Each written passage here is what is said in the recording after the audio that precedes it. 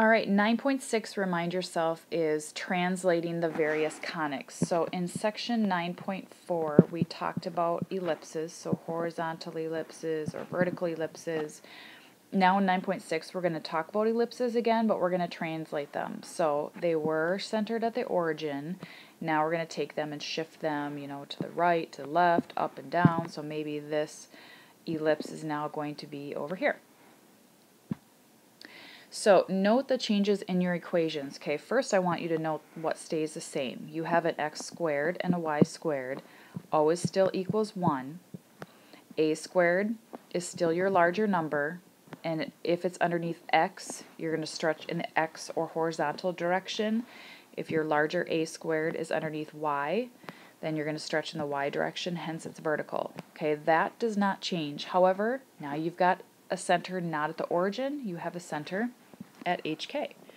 So piece of cake, because we did this with parabola, so minus h minus k, right? That's going to give you where this ellipse is centered, if not at the origin. Okay, so pause the video and jot these down. So this first one says to graph the ellipse, and these are divided by, sorry. So graph the ellipse. So x minus 1 squared over 10 plus y plus 4 squared over 25 equals 1. Okay, so first I know it's an ellipse because it's an x squared plus a y squared, and it equals 1, so it's good to go in standard form. So first I would note that um, a squared is the larger number, so a squared is 25, which means b squared is 10. So because a squared is underneath y, I'm going to be stretched in the vertical direction, right? Okay, so my center is also HK. So the center is HK, and I know H is positive 1. Remember, it's always the opposite sign. K is negative 4, also always the opposite sign, right? So it's going to be positive 1, negative 4. So I'm going to start there. So I'm going to plot 1, negative 4. Okay, so 1, negative 4, and that's going to be the center of my ellipse. Okay, so I'll come back to that. Then I know in the y direction, I'm going to go 5 units, because if a squared is 25, a is 5, right? So in the y direction, I'm going to go 5 units from my center. Okay? blow this up again. So in the y direction, I'm going to go 5 units up and 5 units down. In the y direction, I went 5 units. Then my co-vertices are going to be in the x direction, the square root of 10 units. So because b squared is 10, b is the square root of 10, and that's roughly 3, right? It's 3.1-ish. And that's all you can do is estimate this. Okay, so I'm going to blow up my graph. So from my center, I'm going to go 1, 2, 3, and a tiny bit more. And 1, 2, 3, and a tiny bit more. And those are my co-vertices. Okay, so let me just make sure this makes sense. So a squared was the larger number. And that means a is 5. So I'm going to go 5 units from my center. So I went 5 units up, 5 units down because it was below y. 10 is below x, and the square root of 10 would give me b, and the square root of 10 is approximately 3. So in the x direction from my center, I went approximately 3 in both, both directions, right? So technically, um, I have just graphed that ellipse. Um, other questions, however, that I'm going to ask of you is I'm going to ask you to list the vertices and covertices.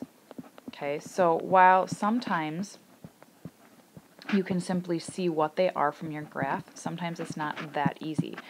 So my vertices are, I could just really count those points out, right? There's my vertices. But also note that your vertices are in the y direction, 5 units from my center. So I'm going to add 5. Fact, I'm going to write this out. My vertices are 1, negative 4. I'm going to add 5, and I'm going to subtract 5. So that's going to give me negative 4 plus 5 is 1. And I can see that point right here, 1, 1. And if I subtract 5, I'm going to get negative 9. And I can also see that point, 1, negative 9, right there. So those are my vertices. My co-vertices are a little trickier. The square root of 10 units in the x direction from my center. So I'm going to add it onto my x coordinate. So I'm going to have 1 plus or minus the square root of 10, negative 4. So again, I take that center point and I'm going to add square root of 10 and subtract the square root of 10 from that x value, which happens to be 1. Okay. Last but not least, you might be asked to find your foci. Okay, so foci, remember with an ellipse, c squared equals a squared minus b squared. I know a squared is 25. I know b squared is 10. 25 minus 10, of course, is 15. So that means c is the square root of 15. Well, your foci are always in the same direction as your vertices. So if my vertices are in the x direction, my foci are the square root of 15 from my center. Square root of 15 is almost 4, right? So from my center, 1, 2, 3, 4-ish, and from my center go down, 1, 2, 3, 4-ish, and those are approximately where my foci are. If I ask you to list your foci, I'll squeeze them in here. Foci are in the y direction from my center, the square root of 15 units. So I take 1, comma, negative 4, which is my center, but my y value of negative 4 is going to add and subtract the square root of 15 because I go up and down the square root of 15 units from my y coordinate. And again, you'll be asked to find or list fo foci, vertices, and co-vertices. So make sure that that makes sense in addition to graphing. All right, lastly, write an equation of the ellipse with foci at negative 2, 3 and 4, 3 and co-vertices at 1, 4 and 1, 2.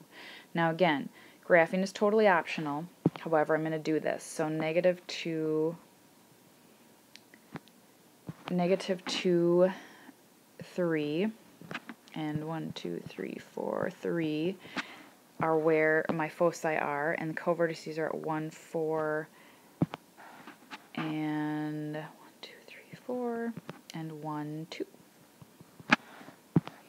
Okay, so I know that my, my uh, co-vertices are at 1, 4, and 1, 2. So since they're co-vertices, I know that this is going to be stretched not in the y direction, but in the x direction. Again, I'm just going to totally make this up. You know, it might look something like this. It's got to encompass those foci, right? Okay, so knowing that, again, I know that it's going to be a horizontal ellipse because it's stretched horizontally.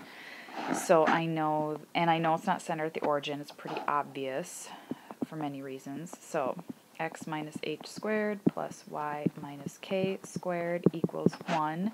And I know my a squared is going to be underneath my x because it's stretched in the x direction. So how in the world do you find the center? Well, if you think about your foci are always equidistant from your center, your co-vertices are equidistant from your center, your vertices are equidistant from your center. You get the idea.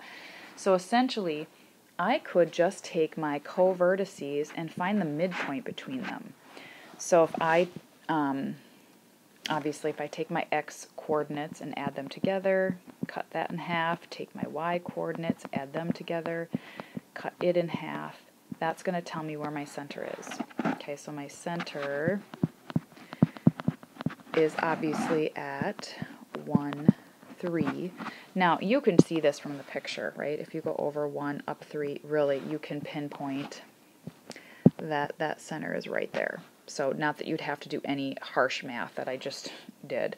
You can also find the center of the foci. So negative 2 plus 4 is 2, cut in half is 1, 3 plus 3 is 6, cut in half is 3. So any of the important characteristics, the midpoint of them will always give you your center.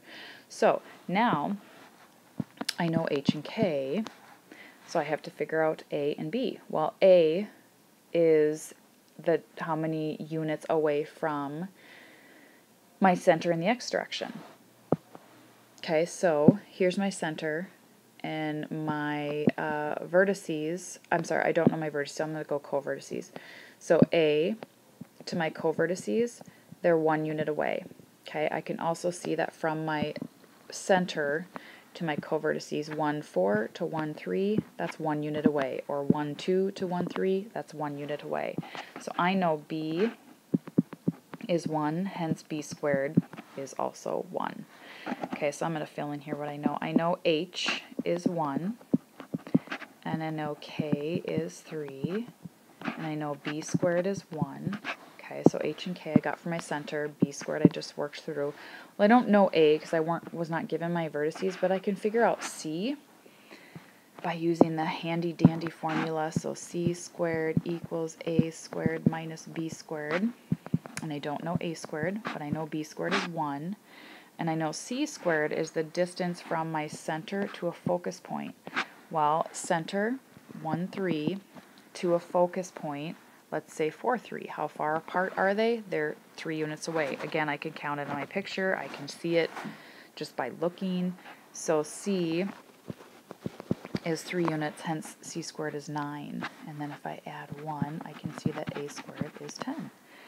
And I have my A squared. And that is the equation of this translated ellipse.